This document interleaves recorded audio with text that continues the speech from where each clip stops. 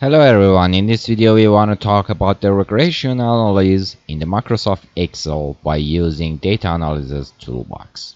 You can see the data analysis toolbox here in the data tab and if you cannot see you should activate these add-ins. You have to go to the file, options, in the add-ins, press on the go button and then checkbox these two and then press on the OK button and then you can see the data analysis toolbox here. So the regression analysis is the analyzing the relationship between two variables. So for example here I have age as a variable and I want to see the blood pressure in the different ages. So for example I want to know what person, what a regular person in the age 60 should blood pressure be. And I can use the regression analysis and see what can it be in the age 60 of blood pressure. So uh, the data, the regression analysis can be done in Excel via using the charts, line charts, or using the formulas in the statisticals. So in the statistical, you can see, for example, intercept equation or function for calculating the intercept of the regression or the LINEST function or the forecast or the slope function or other function that are here in the Excel.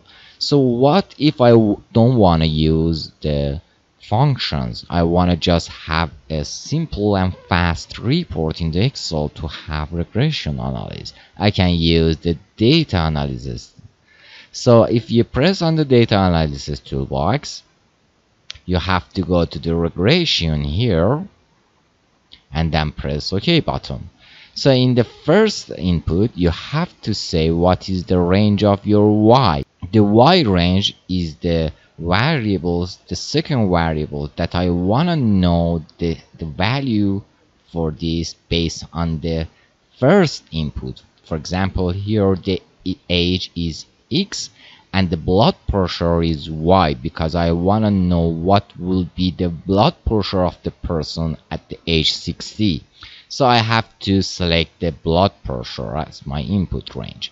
I need to select all my inputs so I use Ctrl Shift down button and I also checkbox the labels because the first value is the text value and it represents the label of my column and the second input is the x in range so in the x range I have to say what are my known data and what is the independent variable so based on this one I want to know the y values. So I select the x ranges by using the control shift down button as well. So after that I can say for example I want this analysis be done by the confidence level of 95% and I want to have the interval estimations for regression coefficients and also I want to know the residuals and I want to have the residual plots. I want to have the standardized residuals line fit plots and as well as the normal probability plots. So after that I can say where I want to have my report. If I just select the new worksheet empty one the Excel will create a new worksheet with the name sheet 1 so I press OK button and Excel just generate my report here. So first let's take a look at the charts. We have three charts here. The first one I want to talk about is the line fit plot. So this is the regression line for you and these are your data. The blue one is your data and the orange one is your regression line. If you want to see the exact line, not the dot one, you have to select your orange dots, go to the format data, go to the format and select line and select solid line. You can choose for example red one and go to the marker and then select none here. So you can see the line in the better way. So this is your regression line. The next plot is your residual plot. And this plot show you how well your regression model is fitted.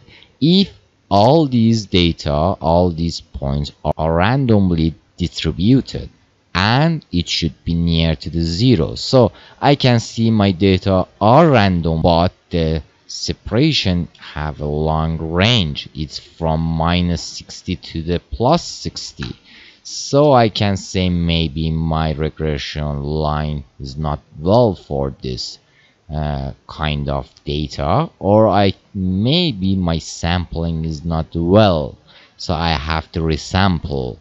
And then the last plot is the normal probability plot and show me if my residual if my residual have the normal probability or not. I can uh, select a line and insert a line here if this data be near to this line then I can say these are uh, these have the normal probability. So this line should be near to the this line. And uh, this is the uh, charts for my regression analysis. And now let's see the tables here as well. So in the first table we can see the multiple r. It means that this is a r coefficient correlation between the x and the y variables and it can be between minus 1 to the positive 1 and if it's be near to the zero it means that there is no meaningful relationship between the x and y and we should not use any regression between those two. But if it's be near to the one we can say there is a positive relationship between the x and y and if it's near to the minus 1 we can say there is negative relationship between x and y. The second one is r square which means that if it's near to the 1 there is meaningful relationship between x and y and if it's be near to the zero there is no meaningful relationship. So as you can see here it's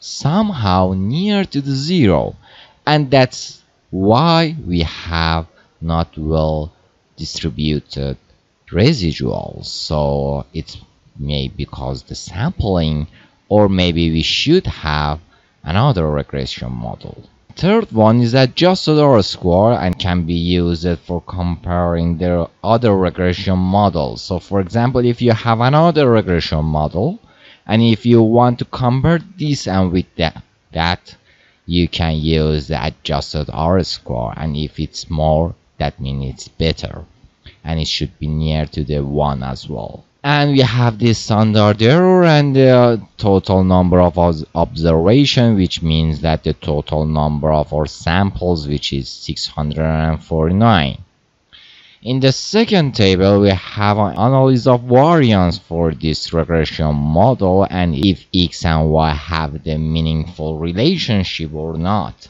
So at first we can see there is a regression the second one is residual and then we have the total. Based on that we can uh, calculate the sum square of regression sum square of residual and the sum square of totals and then in the next column we have the mean of sum of squares and we can have the mean of sum of square of regression and residual. And for total the mean of sum of total means the variance of my data. So we have not the total here just because this is the same as variance. And for seeing the meaningfulness between x and y variables we calculate the f statistics. So this one just can be calculated by dividing this number by this number and we have the f statistic. And then we can see the significance of f is this number which can be read from the f table the f distribution table. So if this calculated be more than this significant f then we say there is a meaningful relationship between x and y so this R score means that we don't have good sampling here right now. But this one said there is something between X and Y. and the next table calculates the coefficient of my regression the first one is intercept so for example here if I continue this red line to the y-axis the blood pressure x then in some point that this uh, line intercept with this x we say the intercept of the regression which is this one the 104 and the Excel calculates the standard error, the t, the t statistic, the p-value, and based on this, it calculates the interval estimation. So this interval estimation saying that this number can be between these two numbers. And we have the regression coefficient of age as well here. This is the slope of my line. And also we have the interval estimation of slope as well. So right now if I want to have a new x value for example the age 60 then the y can be calculated by having this number plus having the slope multiplied by the new x value so the y is 135. I expect that for the person of age 60, we should have the blood pressure of 135. And then we, we can see the other tables which are for residuals. So these the first one showing which is the sample number the second column shows me calculated wise, the predicted one. So the first one, the first value y is 130. But I calculated based on this estimation, the blood pressure for observation 1 should be 190. So the difference is residual. So if I'm minusing the actual value with the predicted value, then we can have the residual number. And if we standardize this residual, then we will have the standard residual. It means that we should minusing this one with, with the average of my residual in this column and then dividing it by this standard deviation. So this is how the standard residual is calculated.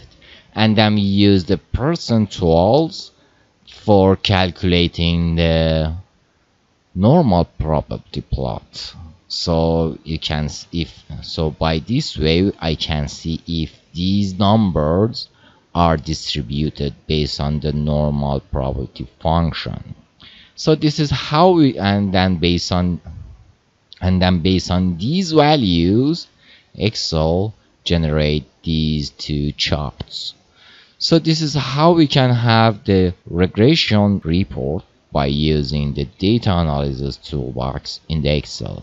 Thanks for watching. Until next video, goodbye. In order to watch more training videos, please subscribe to our YouTube channel, Deyako. And if you want to see our products, please visit our website, deyako.co.uk.